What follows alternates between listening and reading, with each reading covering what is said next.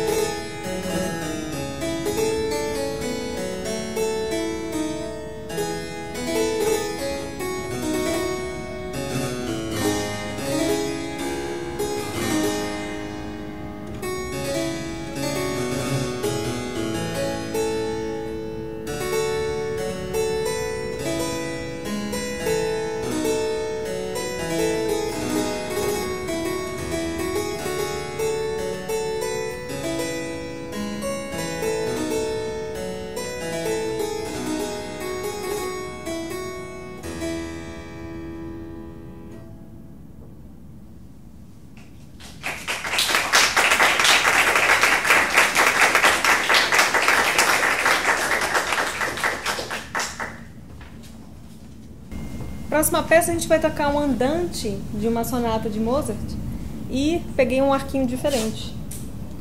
Tá? Então, esse é um arco pré-clássico, da época do modelo da época do Mozart. Então, é, ou seja, para cada época, cada ferramenta nos permite fazer um discurso diferente, vamos dizer, certo? Articular de maneira diferente. A ideia era de discurso mesmo, né? Então, por isso eu não vou usar aquele arco do século XVII. Para Mozart, não me permite falar como ele gostaria, gostaria não, mas enfim, como o estilo permite, certo? Então é esse aqui, ó. Um arco mais longo, mais pesado. Tá?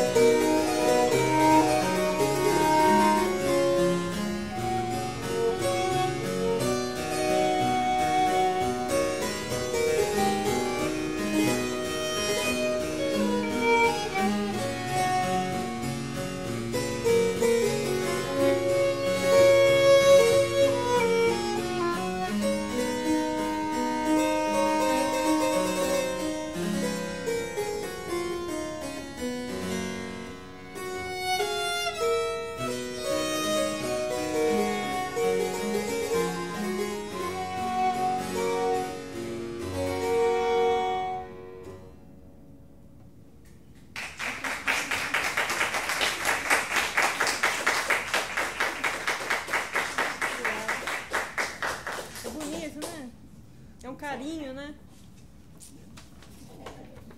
É... Vou falar rapidamente sobre o cravo, para quem ainda não conhece. É um instrumento que foi uh, muito popular no século 17, 18, uh, quando do surgimento do, da criação do fortepiano, da popularização do fortepiano, o cravo foi perdendo um pouco o campo, né, a popularidade para o piano até cair praticamente em desuso no século XIX. O cravo uh, ele tem esse formato de asa. Lembra, o piano herdou, digamos assim, do cravo esse formato e a organização das teclas. Mas a mecânica de produção do som ela é bem diferente. No piano nós temos martelos que percutem as cordas e no cravo nós temos objetos que parecem uma palheta, vamos pensar numa ou numa unha, né, que trisca a corda. Né? Então, uh, além de ter as cordas de metal, lembram um, uma viola caipira, por exemplo, né? e tem esse som como dedilhado. Né? Uh, a, nossa próxima música é uma composição uh, de José Eduardo Gramani, um, foi um nosso professor na, na Unicamp, é, violinista, compositor, pesquisador em rabecas, né?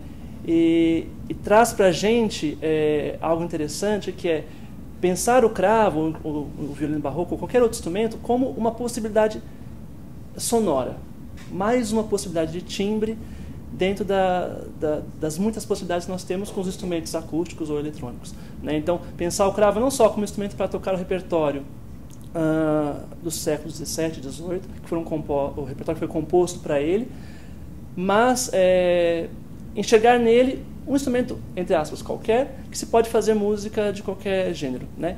Então essa peça, essa obra do Gramani, chama Sereno, e ela forte inspiração é, na música popular brasileira. Vocês vão perceber pelos ritmos, pelas harmonias, pela melodia. E é a nossa última, nossa última obra de hoje.